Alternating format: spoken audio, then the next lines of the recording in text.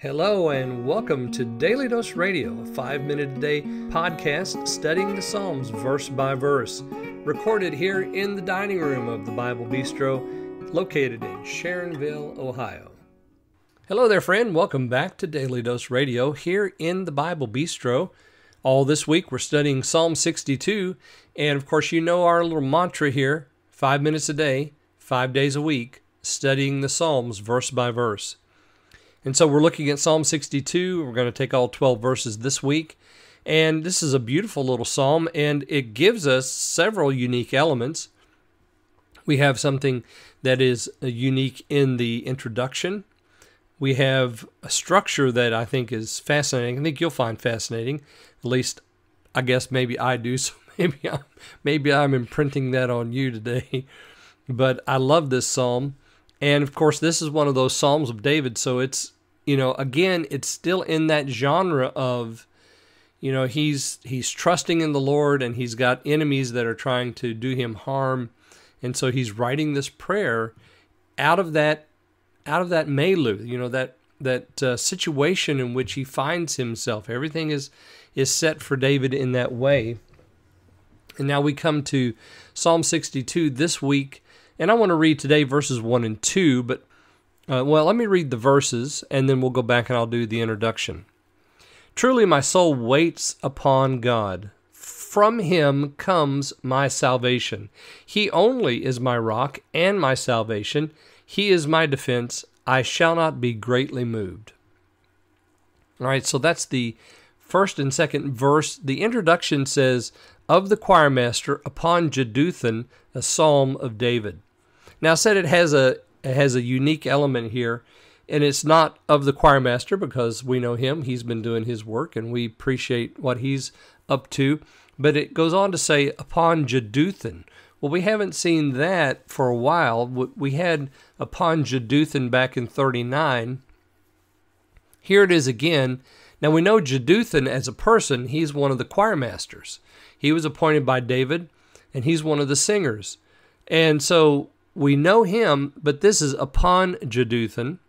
So is this a choir? Is this is this a, a, a, group of men or group of people who are called the choir of Jeduthun, or is this a musical notation that upon Jeduthun is the tune name, or is this uh, some sort of instrument that maybe Jeduthun made or became famous because of him.